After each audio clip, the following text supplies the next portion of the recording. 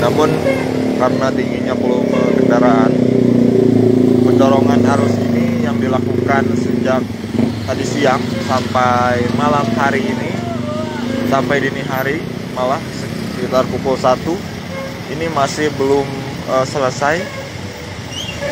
Namun pantauan kami untuk arus kendaraan di jalur puncak untuk di sepanjang jalur puncak sebagian besar sudah ramai lancar dengan sistem satu arah.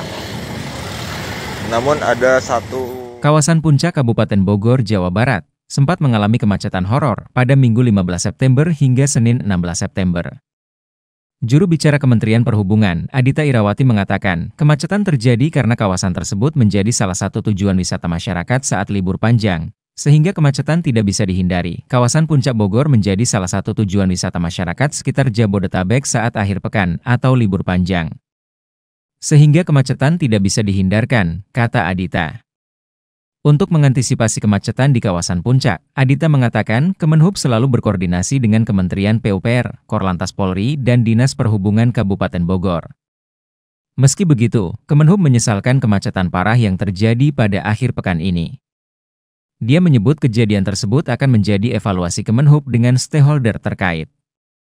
Untuk penanganan kemacetan di Puncak Bogor, menurutnya Korlantas telah memperlakukan sistem one-way ke arah Jakarta. Cara itu sudah dilakukan kepolisian dan Pemkap Cianjur selama nyaris 40 tahun terakhir. Adita juga mengatakan, Kemenhub akan mengkaji rekayasa lalu lintas untuk arus balik. Kami harapkan pemberlakuan one-way ini dapat mengurai kemacetan yang terjadi. Adita pun mengimbau masyarakat dapat mengambil jalur-jalur alternatif untuk menghindari padatnya kawasan puncak. Sebagai informasi, kawasan Puncak Bogor, Jawa Barat sempat dilanda kemacetan horor yang berlangsung selama 24 jam terakhir. Kemacetan mulai terjadi pada Minggu 15 September 2024 pagi, sekitar pukul 11.00 waktu Indonesia Barat kemacetan itu berlangsung hingga Senin 16 September 2024 pagi. Pada minggu malam, antrean kendaraan mencapai 16 km dari perbatasan Cianjur Bogor, hingga ke desa Cibeureum, Kecamatan Cugenang Cianjur.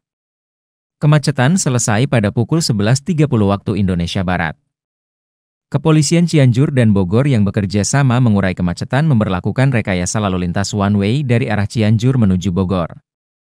Sekitar pukul 12.00 WIB, arus lalu lintas pun terpantau lancar. Tak tampak lagi antrean panjang kendaraan. Tribun X menghadirkan lokal menjadi Indonesia.